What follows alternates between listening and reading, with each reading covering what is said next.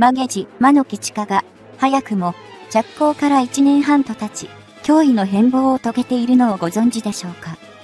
今回は、この曲げ島着工1年半を詳しく見ていきますね。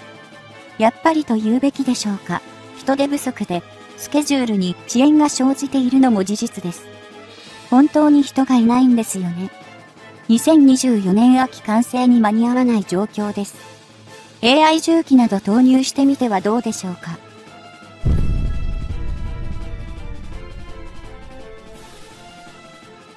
この2024年7月で、鹿児島県の離島である曲げ島に対する建設工事、自衛隊の仮称、曲げ島基地と呼称されるその着工から、1年と6ヶ月が経過したことになるのだが、この工事の遅延が起きているのではと危惧する声が上がっている。自衛隊の仮称、曲げ島基地と呼称される建設工事は、まず、他の様々な設備に先駆けて滑走路を整備する計画となっており、当初のスケジュールによれば、今年2024年の秋には、完成するものとして開始されていた。この滑走路の完成が、現時点で2024年秋を目標としてきた計画より遅延するのではないかという声は、工事を請け負う事業者側が、建設業界の人材不足の影響から、予定していた人員数を確保できていないとの見立てから発せられている。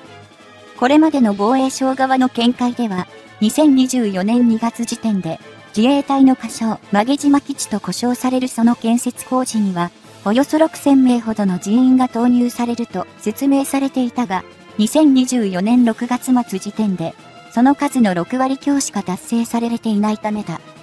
昨今の日本においては、今年2024年早々の能登半島地震発生に伴う復旧工事や、来年2025年に開催予定の大阪万博の会場設備工事等々、日本全体でこうした工事に従事する現場の人手不足が叫ばれて久しい状況ではある。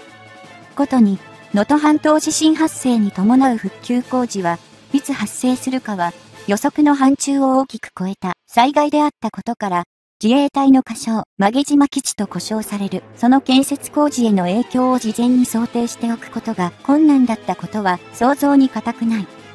ただし、個人的には、自衛隊の仮称、曲島基地の建設工事は、近年悪化の一途をたどっている日本の安全保障環境を自力で改善しようとする試みの一つであり、なんとか優先順位を上げて取り組んでいただきたいとは感じてしまう。そもそも、自衛隊の仮称、曲島基地とは、いかなるものなのかかといえば、まず曲島そのものの地理的な位置、環境から振り返って考えてみることが、その重要性を認識する上では、欠かせないポイントになるだろう。曲島派鹿児島県の離島群である大隅諸島に含まれる一島であり、大隅諸島とは種子島や屋久島、口永良部島といった島々からなり、この中で曲島派種子島の西方海上をおよそ 12km ほどの場所に位置している。このため、行政の区分において曲島派種子島の北部の西の表市に属しており、総面積は8.20平方キロメートル。周囲の海岸線長は 16.5km。標高は最大でも 71.7m しかなく、総じて平坦な地形となっている。ま、ゲジ、マを含む大隅諸島は、北側に日本の特定海峡である大隅海峡があり、同様の宗谷海峡、津軽海峡、対馬海峡、宮古海峡と並ぶ日本の国防上の要所であり、特に近年は南西諸島防衛の上で重要な意味を持つと考えられる。急激な経済的発展を背景に、軍事力の拡張を続ける中国は、海軍戦力の増強も著しく、それらの艦艇が太平洋方面へと進出するためには、大隅海峡や宮古海峡を通過する必要があるため、この地域の重要性はますます高まっている状況である。自衛隊の仮称、曲島基地が同等に完成すれば、中国による警戒、監視や様々な工作も想定されるが、逆に、日本側も、滑走路の整備により、航空戦力や港湾の整備によって、海上戦力の拠点とすることが可能となる。現在は、こうした情勢下で、その地理的な位置の重要性も高まっている負け島だが、かつて、太平洋戦争時までは、大日本帝国海軍の防空用の監視所が設置されていた程度で、ほぼ無人島の状態が長らく続いていた。その後、1950年代に入り、曲げ地、マには、民間人の開拓団が入植を行い、サトウキビの栽培や酪農を行うようになったが、もともと平坦な道東には河川がなかったために、水の確保が容易ではなく、農業や酪農も採算が合わず、1980年には無人島に戻った。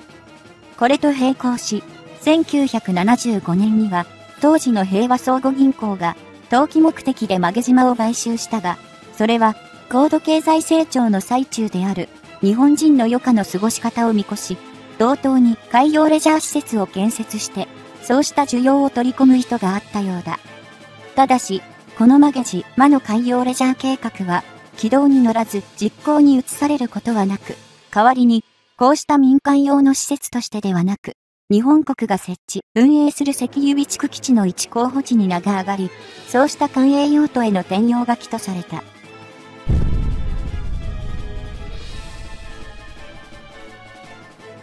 しかし、この石油備蓄基地も、同じ、鹿児島県の志布志湾内に設置されることとなったために負け島派捨て置かれたが、1983年には、右翼の人物を通じて、所有者である平和相互銀行に、曲げ地、魔を自衛隊のレーダー施設の用地として国に売却する計画がもたらされた。平和相互銀行は、この話を実現すべく、政界に不正な資金を渡す工作に及んだが、これが曲げ島事件と呼ばれる汚職事件地として発覚してしまい、すでに経営状態が悪化していた同銀行は、これを機に当時の住友銀行に吸収される形で消えた。一方の曲島自体は、平和相互銀行が、その活用を行うために設立した負島開発株式会社が所有していたが、1995年に東京の立石建設が、やはり、投機目的で、この曲島開発株式会社を買収、その後に、会社名をタストンエアポート株式会社へと改めた。曲島開発株式会社時代より曲島派わずかに西の表市の所有する部分がある程度で、大半が同社の所有下にあり、これを引き継いだタストンエアポート株式会社も、具体的な島の開発はほとんど行わず、公的な用途への土地の貸借や売却を狙っていたと思われる。そうした公的な用途としては、宇宙開発の一環としての機体の着陸場、原子力発電所から生じる使用済み核燃料の中間貯蔵を担う施設等への利用が取り沙汰されたが、これらも具体化することはなく、曲げ島派、事実上宙に浮いた状態だった。こうした状況に変化が生じたのが2007年のことで、小笠原諸島の洋島に変えて、アメリカ海軍の航空母艦が横須賀に入港した際のその艦載機の FCLP 空母艦載機着陸訓練の実施場所の候補地としてマスメディアによる報道がなされた。FCLP 空母艦載機着陸訓練とは入港したアメリカ海軍の航空母艦が出港するにあたりその空母艦載機の搭乗者が必要とされる資格を回復するために行われる訓練のことで、端的に言えば、搭乗者の技量の維持を図るものと言えるだろう。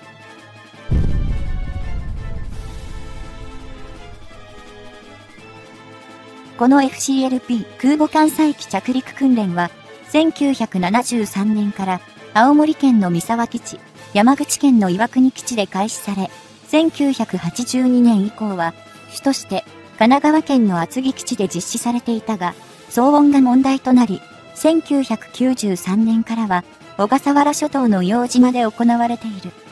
しかし、アメリカ海軍の航空母艦が横須賀に入港した際に中期場所となっている厚木基地から硫黄島まではおよそ 1200km、また岩国基地からも同 1400km と距離があり、アメリカ側から代替地の確保が要求されてきた。このことから FCLP 空母艦載機着陸訓練の実施場所を曲げ島にできればその距離は、岩国基地からであれば、およそ 400km ほどと3分の1以下に短縮が可能であるため、2010年頃より、防衛省浜毛地、魔の活用に前向きな姿勢であることが明らかとなる。そこから、実際に防衛省国側が負け時、魔を購入する至る2019年末までには、タストンエアポート株式会社の対応にも紆余曲折はあったものの、結果およそ160億円でマゲジ、魔の買収は決着。今の仮称、曲げ島基地と呼称される開発へと進んでいる。もともと、在日アメリカ軍の FCLP 空母艦載機着陸訓練の実施場所として見出された曲げ島ではあるが、現状洋島で実施されている FCLP 空母艦載機着陸訓練は、1回あたり準備期間も含め1ヶ月程度が、年2回ほどの頻度で行われている状況である。したがって、仮称曲げ島基地が完成した場合、大半は自衛隊による訓練の拠点としての活用が可能であり、南西諸島の防衛力の強化に向けた大きな力になるものだと、個人的には期待している。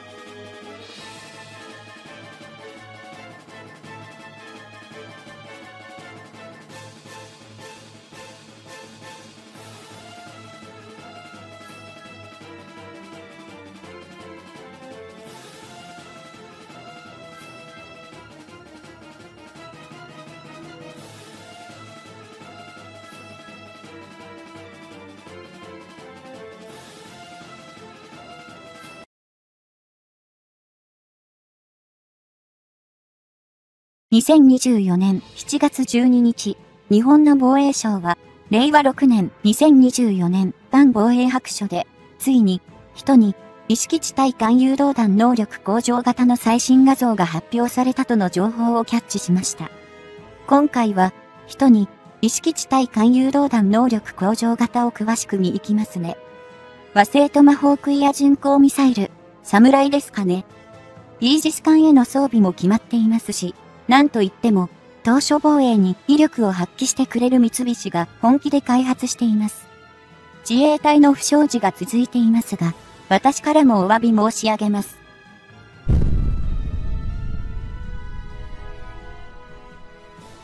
2024年7月12日、日本の防衛省は、令和6年2024年版防衛白書防衛省自衛隊のホームページ上に公開。今回、同白書の表紙には、焼けた刀身を叩くイラストが用いられており、その刀鍛冶に、日本の防衛のあり方を例えた形だ。すなわち、それは、刀を抑止力と見立て、防衛省と自衛隊は、その刀を抜く状況に至らないようにと、これまでも、刀の鍛錬を行ってきたと述べられており、いざという場合に備えてきたという気構えを示したもののようだ。ちょうど、今年令和6年2024年は、1954年7月に自衛隊が創設されてから70周年を迎えると同時に、防衛白書も1970年の書簡の発行から50周年という区切りを同時に迎えたため、冒頭にはその歴史を振り返る内容が盛り込まれている。また、今回の令和6年2024年版防衛白書の刊行にあたっては、現木原防衛省が太平洋戦争以後、最も厳しい安全保障環境下に日本が置かれている現状を、中国、北朝鮮、ロシアの3つの具体的な国名を挙げ指摘している。ここで、現木原防衛省は、こうした現状の日本の安全保障環境を踏まえて、それに対処すべく、安保関連の3文書、つまり、国家安全保障戦略、国家防衛戦略、防衛力整備計画に基づく防衛体制の強化を表明している。そこでは、防衛体制の強化について、スタンドオフ防衛や統合ミサイル防衛の能力の強化を優先して実施すると述べ述べられており、これらに注力することで、日本の防衛力の抜本的な強化を着実に実現させることを訴えている。具体例としては、スタンドオフ防衛に関しては、アメリカから調達するトマホーク巡航ミサイルや国産の人に、意識地対艦誘導弾の能力向上型の名を挙げて、これらの取得を前倒しで実施すると記述されている。また、統合ミサイル防衛に関しては、導入が中止された陸上配備型のイージス・アショアを代替するイージスシステム搭載艦の建造を急ぐ旨を謳っており、加えてそれらに使用する弾薬類の備蓄、防衛施設の強靭化を進めるとしている。さらに、対外的には、日本の唯一の軍事同盟の締結国であるアメリカはもちろん、それに準じる戦略的利益を共有する国々との連携強化を図るとしており、インド太平洋地域におけるその安定の実現に尽力する方針が記されている。そして、最後には、慢性的な自衛隊の人員不足の現状についても危機感を示しており、その人材確保に向けた募集面、人員配置面、待遇面等の向上を図るべく、様々な施策で、これらの課題の解決に取り組むことを訴えている。こうした前提のもとで、作成の上、公表された令和6年2024年反防衛白書であるが、中でも、スタンドオフ防衛に関して具体例として挙げられた国産の人に、意識地対艦誘導弾の能力向上型について注目が集まっている。今回の令和6年2024年反防衛白書では、現在、三菱重工業者を中心に開発が進められている国産の人に、意識地対艦誘導弾の能力向上型について、新たに最新の状態を表す写真が掲載されているためだ。そこには、開発元である三菱重工業者から提供された試作品であるとの説明文が付けられ、工場とおぼしき室内で、上部からクレーン状のもので吊るされた状態である人に意識地対艦誘導弾の能力向上型の姿が収められている。この写真の人に、意識地対艦誘導弾の能力向上型は、左斜め前方の少し髪型から、同誘導弾の前景を映したもので、黒光りするミサイル本体の中央部に折りたたみ、式の2枚の主翼、後方に、X 字に、4枚の安定翼を備え、ブースターは未装着に見える。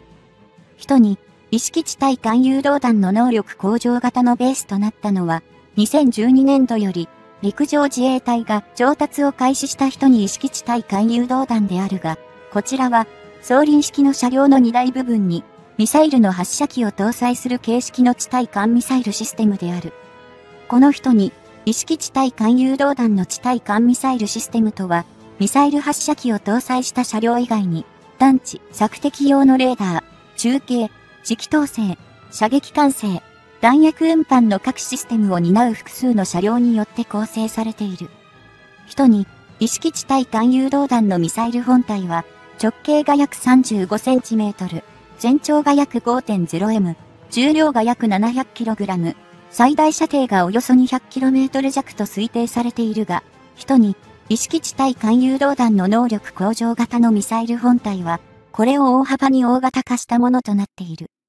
むしろ、名称こそ、人に、意識地対艦誘導弾の能力向上型と呼称されているので紛らわしいのだが、人に、意識地対艦誘導弾の能力向上型のミサイル本体は、ほとんど全てが新規に設計されたとめされており、実質的には別物とみなせるものだ。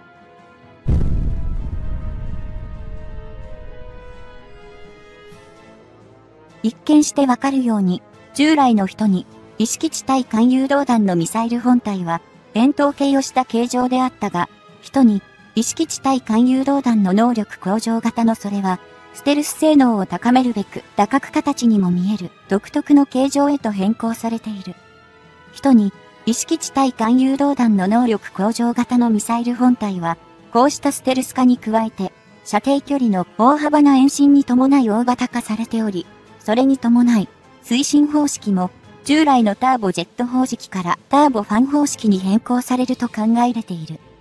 ターボファン方式へと推進機構を改めた人に、意識地対艦誘導弾の能力向上型のミサイル本体は、まず、第一段階として、射程距離をおよそ 900km を目指し、第二段階では、これを、さらに、同 1500km 以上にする予定である。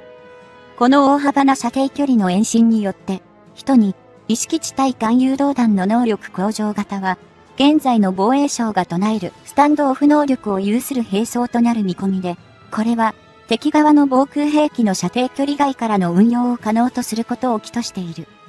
また、人に意識地対艦誘導弾の能力向上型では、ベースとなった人に意識地対艦誘導弾の地発型、陸上発射型にプラスして、間発型、艦艇搭載型、空発型、航空機搭載型へと運用するプラットフォームを拡張する計画となっている。令和3年、2021年、度の事業評価の時点で、開発期間については、自発型陸上発射型は、令和3、2021年度から、令和7年2025年度、間発型艦艇搭載型令和4年2022年度から、令和8年2027年度、空発型航空機搭載型が、令和4年2022年度から、令和10年度2028年とされていた。今回の令和6年2024年反防衛白書において、人に意識地対艦誘導弾の能力向上型の地発型陸上発射型の取得は、アメリカからのトマホーク巡航ミサイルと合わせて、当初予定より1年早めた2025年度からと明記された。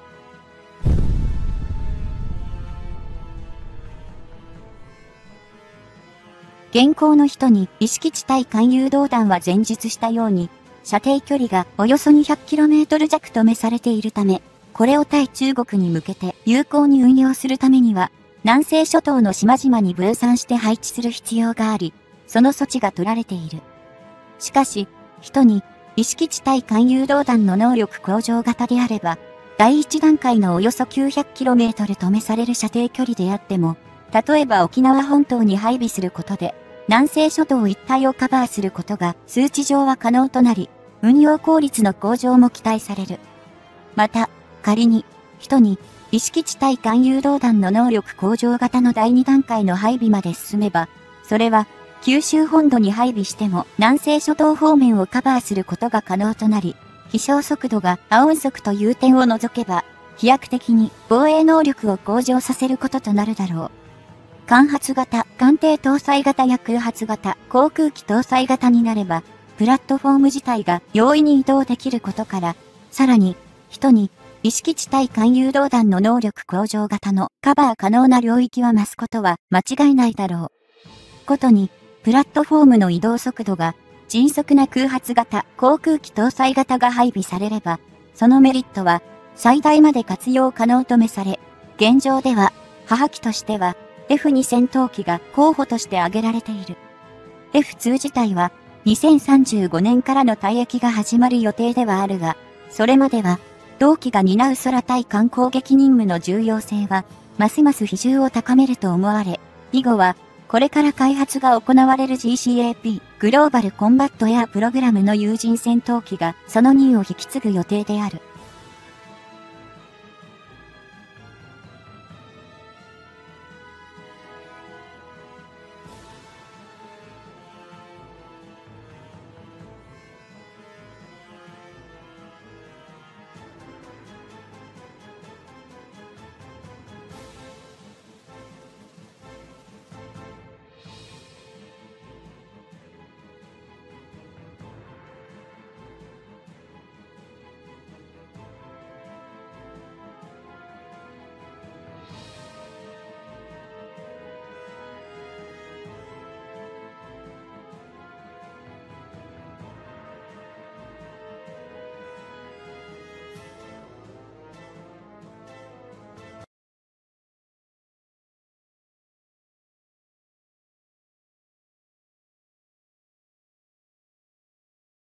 今、まさに、護衛艦加賀の F35B 戦闘機認証テストと日本の防衛力の強化が進む中、今回は、護衛艦加賀の太平洋での洋上拠点化運用想定を詳しく見ていきましょう。中国の脅威が拡大すると同時に経済が破綻していっているおかげで、日本の対中国の防衛力強化はギリギリのところで間に合いそうだ。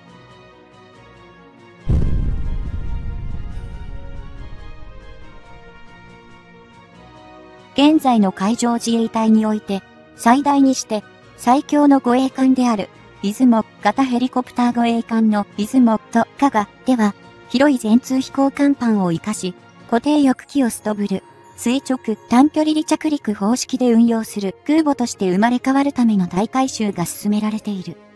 出雲型護衛艦の公開諸言は、基準排水量19,500トン、満載排水量26,000トン、全長248.0メートル、最大幅38.0メートル、水線幅29.6メートル、深さ23.5メートル、喫水7.3メートルの規模で、クレでは、加賀が大きな存在感を示している。改修前の出雲型護衛艦は、ヘリコプター搭載護衛艦として、SH60 キロ哨戒ヘリコプター7機、MCH101 輸送救難ヘリコプター2機が搭載されていて、運用可能なヘリコプターの最大搭載数は、14機とされていたが、空母改修後は、艦載機として固定翼の F35B ライトニング2を搭載するため、その場合には10から14機程度を運用するようになるらしい。F35 とは、アメリカのロッキード・マーティン社が生産している第5世代ステルス戦闘機として開発された単発、単座の多用途戦闘機のことであり、コンピューターによる情報統合が進められていて、パイロットのヘルメットディスプレイによって全周囲視界が実現されている。当初から多用途戦闘機として開発されたため、対地攻撃能力や電子装備の充実度に関しては、同じ第5世代ステルス製空戦闘機である F2 にラプターを超えると言われており、さらに、同一の機体構造を有する A 型、通常離着陸機型と B 型、垂直、短距離離着陸機型、及び C 型、環状機型の3タイプが存在していている。このような野心的な設計の機体であるため、開発計画時の名称である統合打撃戦闘機、ジョイント、ストライキ、ファイターの略称、JSF とも呼ばれる。出雲、型護衛艦での運用が予定されている B 型の F35 は、ストブルと呼ばれ、滑走を必要としないヘリコプターのような垂直離陸、あるいは短距離での離着陸が可能な固定翼機である。その際には、エンジン後方にある排気ノズルを折り曲げて、下方にジェット噴射を行い、排気ノズル付近の機体後方下部に装備された2枚扉を開けてから、排気ノズルを下方に向ける形だ。また、エンジンから伸びるシャフトに関しては、クラッチを介して前方にあるリフトファンを駆動し、機体前方操縦席直後の下部にある2枚の排気ダクト扉を開けて、下方向への水力を得る。その際には、機体前方上部にある吸気ダクト扉も開放されるが、こちらは後方ヒンジによる1枚扉となっていて、コックピットのキャノピーの形状は A 型や C 型と違い、胴体背部にリフトファンを装備している関係から B 型では盛り上がっているために、バブルキャノピーと呼ばれる完全な水滴型にはなっていない。リフトファンの吸気ダクト扉後部には、2枚扉のエンジンの補助インテークがあり、低速となるストブル飛行時でも、エンジンに対しては、十分な吸気を行えるようになっているようだ。また、主翼の内翼部中央仮面には、エンジンの圧縮機から抽出される空気を利用して、垂直離着陸時やホバーリング時に、機体の姿勢を安定させるためのロールポストが装備されている。このリフトファンから噴出される空気は熱せられていないため、エンジン後部排気口から発生する高温かつ酸素不足の空気流が前方へ流れないようにして、エアインテークから再度エンジンに入り込むことを防ぎ、ホバーリング時においても、高いエンジン運転効率を維持することができる。防衛省では、F35B を42機調達する計画で、2024年度には、最初に導入される6機を宮崎県にある新田原空自基地に配備する予定で進めており、およそ110人体制で F35B の機体を運用する飛行隊を同基地に発足させる。この F35B 飛行隊の陸上基地として宮崎県の新田原基地が選ばれたのには理由があるようで、出雲にしても加賀にしても定期整備を受けるためには、関西機を陸上基地に下ろす必要があり、その関西機のパイロットは、長さが300メートルにも満たない空母の飛行甲板での高難度な発着管理量の低下を防ぐために、一定の頻度で空母艦載機の発着訓練を行う必要があり、その間に陸上の飛行場での訓練が必要となるためだ。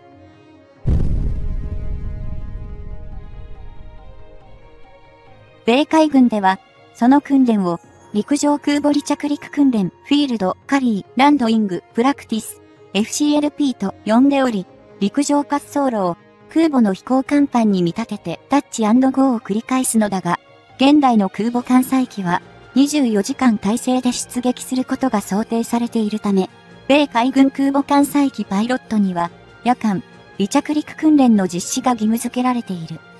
この訓練が日本では厚木基地、横田基地、三沢基地、岩国基地などで実施されていたが、これらの基地の周辺には民家や住宅地が多く、FCLP は夜間も実施されるために、住民の反対による問題となっていた。現在では、米空母ロナルド・レーガンが横須賀基地に入ってくる際は、第5空母航空団の F、A18E、F、EA18 ギガ E2 などが岩国基地に駐留することが通常運用となり、FCLP 訓練は、硫黄島基地での運用が困難な時にだけ、三沢、横田、厚木、岩国で大体運用される。しかし、硫黄島基地は、岩国基地から約 1400km も離れていることを理由に、アメリカ側からの移転要請があり、日本政府と防衛省は、岩国から約 400km にある鹿児島県の曲げ島に FCLP 訓練を移転することを決定し、2023年1月12日から基地建設工事が開始された。出雲、型空母に艦載される空自の F35B 飛行隊は、有事の際には、アメリカの原子力空母や強襲揚陸艦などでの発着艦も想定されるため、事前に、米軍の FCLP を実施していることが必要であり、客観的に見ても、曲げ島に近い宮崎県のニュータバル基地への配備は都合が良いと言える。F35B は前輪も後輪も通常離着陸をする A 型と同じ構造であり、滑走路があれば、通常の滑走距離をとって離着陸する CTOL としての運用もできるし、那覇基地をはじめとする沖縄元島南西諸島にある各飛行場への展開も可能となるため、有事の航空戦力の増援として送ることができる。